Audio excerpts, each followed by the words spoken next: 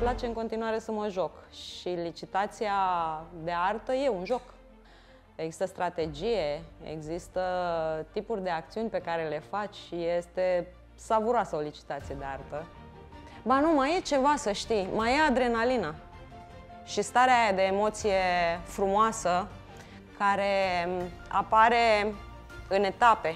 Uh, recunosc, mie îmi plac lucrurile astea foarte tare și îmi place provocarea, cred că ăsta e un, un alt element important. Partea asta de licitație de artă are și zona aceea foarte frumoasă de autoeducare, care pentru mine e foarte importantă și îmi place, și o să repet asta până o să mor, ce spunea Ileana Vulpescu la un moment dat în Arta Conversației. Dacă până la 20-25 de ani poți să dai vina pe familie, pe școală, pe societate că nu te-au educat, după vârsta asta nu mai ai nicio scuză, ține de tine să te autoeduci. Licitația de artă decorativă, artă sacră, bijuterii și ceasuri, pe 3 decembrie de la ora 18 se poate licita online sau telefonic.